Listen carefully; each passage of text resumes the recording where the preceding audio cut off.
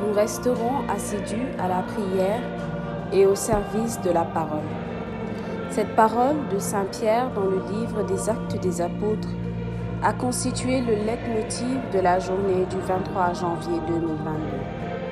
En effet, au-delà des élections locales, l'Église universelle célébrait le troisième dimanche du temps ordinaire, appelé dimanche de la parole, institué par le pape François par son motus proprio Aperius Illis, publié le 30 septembre 2019. En plus, ce jour a été choisi par le groupe liturgique pour célébrer la deuxième édition de la journée du lecteur.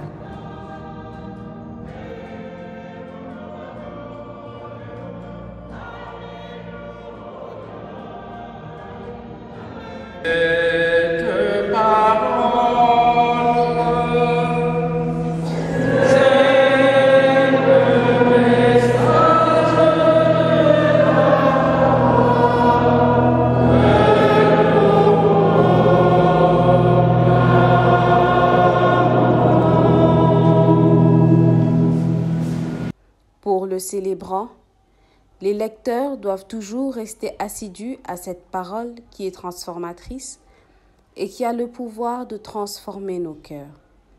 Il a aussi invité les paroissiens à plus de participation active aux assemblées eucharistiques. Au cours de cette célébration et pendant l'offertoire, le nouveau missel romain entré en vigueur depuis le premier dimanche de l'Avent a été offert à la paroisse par le groupe liturgique, ceci dans l'optique de joindre liturgie de la parole et liturgie eucharistique, les deux piliers essentiels de la messe.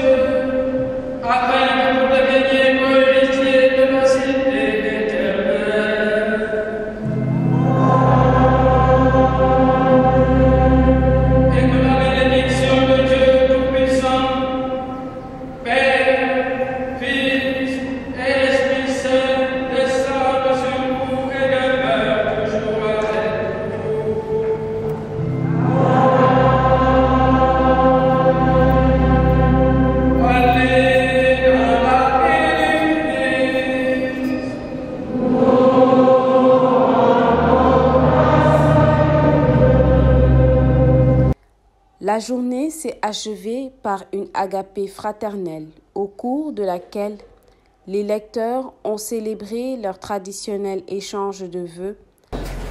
Au groupe liturgique, je pense aussi que l'année a bien commencé. 2021 aussi était une très belle année, je pense. On a rempli euh, nos fonctions, on a eu euh, beaucoup de nouveaux, ce qui est bien quand même.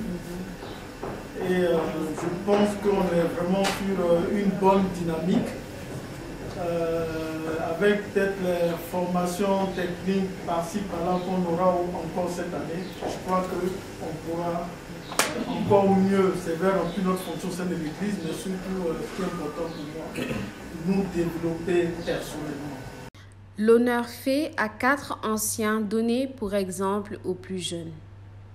Il s'agit de Mesdames Suzanne Ouyonvi, Augustine Semedo Mutsinga et Messieurs Charles Barra et Lucien Adandé. Oui, par l'intercession de Saint Aviateur, le saint patron des lecteurs, les membres du groupe liturgique sont résolument engagés à rester assidus à la prière et au service de la parole.